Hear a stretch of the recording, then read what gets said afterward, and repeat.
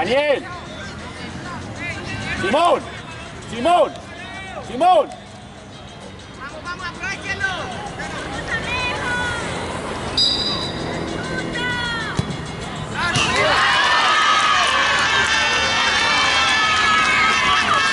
Dale, dale, dale, Daniel. ¿Para qué?